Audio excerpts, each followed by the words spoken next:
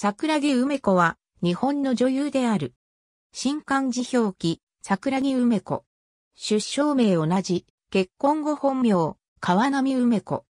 1908年8月8日、神奈川県横浜市に生まれる。高等女学校に進学するも、中途退学し、1925年、松竹蒲田撮影所に入社したが、同年6月、京都に移り日活関西撮影所第一部に移籍し、時代劇に転校する。同年7月14日に公開された、尾上松之助の主演作、地雷なりに出演し、満16歳で映画界にデビューした。1927年8月、尾上民太郎主演の剣豪施設に妹を教役で出演するが、病気のため降板し、絹川光子が代役を務めて、同年8月26日に完成、同年9月24日に公開されている。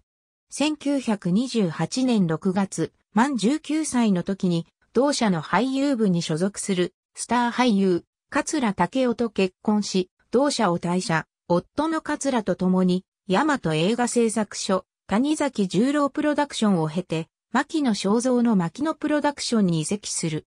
1929年7月25日には、牧野正造が亡くなり、同年9月に、牧野正宏を核とした新体制が発表になると、桜木は、牧野智子、松浦月江、岡島津也子、大林梅子、生野初子、川上君江、美穂松子、泉清子、津賀静子、北岡義恵、住野江達子、別所マスエラと共に俳優部女優に名を連ねた。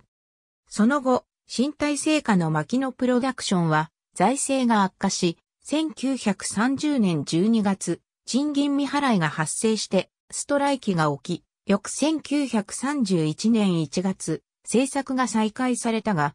牧野退社後は赤沢映画を経て、坂東妻三郎プロダクションに入社、多く坂東妻三郎の相手役を務めた。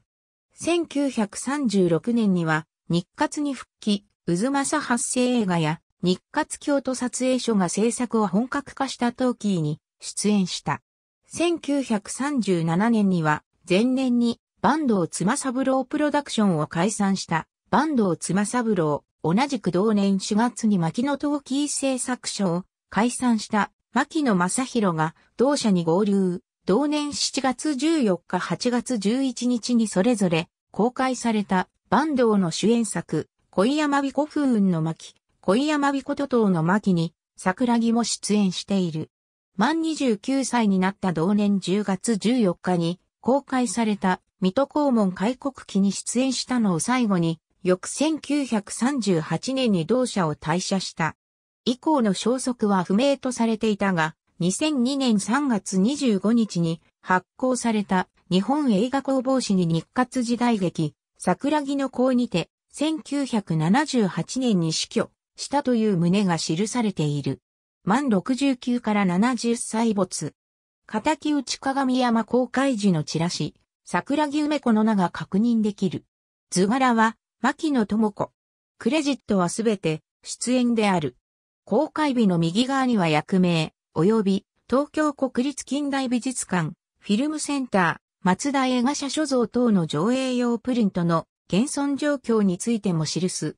同センターなどに所蔵されていないものは、特に1940年代以前の作品については、ほぼ現存しないフィルムである。資料によってタイトルの異なるものは併記した。特筆以外すべて制作は、日活大将軍撮影所、配給は、日活、すべてサイレント映画である。すべて制作は、日活渦政撮影所、配給は、日活、すべてサイレント映画である。すべて制作は、牧野プロダクションを室撮影所、配給は、牧野プロダクション、すべてサイレント映画である。すべてサイレント映画である。